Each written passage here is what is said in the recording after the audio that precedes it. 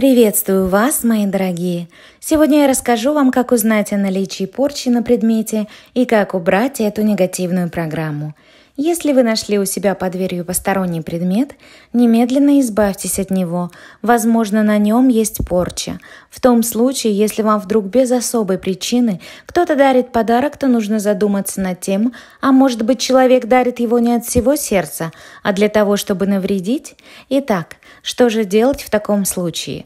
Вы можете принять презент, но обязательно нужно знать о том, как проверить подаренную вещь на порчу. Сделать это можно следующим образом вечером. Сходите в церковь и купите там свечу. Когда останетесь дома в одиночестве, зажгите свечу, обведите ей подарок. Делать это нужно медленно.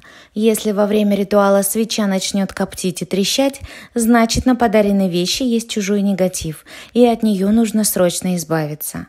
Также проверять на наличие порчи нужно свои личные вещи – украшения, одежду, белье. Порчу на личную вещь можно сделать человеку, которого вы случайно оставите свои вещи.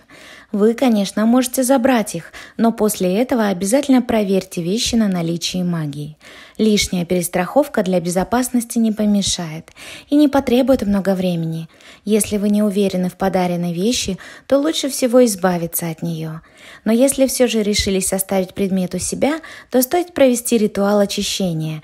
Сегодня я подробно расскажу, как очистить вещь от порчи солью. Для этого вам необходимо сделать следующее. Возьмите глубокую тарелку и насыпьте в нее соль с новой упаковки.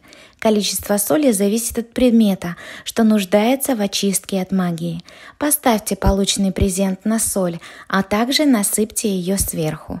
Соль в этом обряде ассоциируется с землей.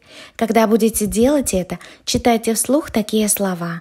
«Стихия земли ко мне на помощь приди, от зла и скверны, от порчи из глаза». Название предмета, например, кулон, кольцо, серьги, очисти. Всю грязь на себя забери.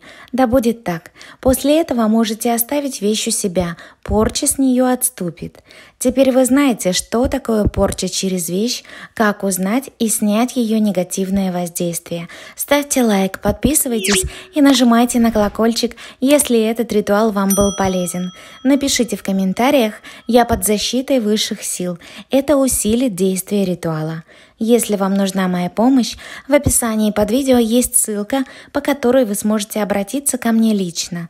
Там же ссылка на телеграм-канал, в котором я делюсь другими ритуалами. Желаю вам семейного счастья и благополучия.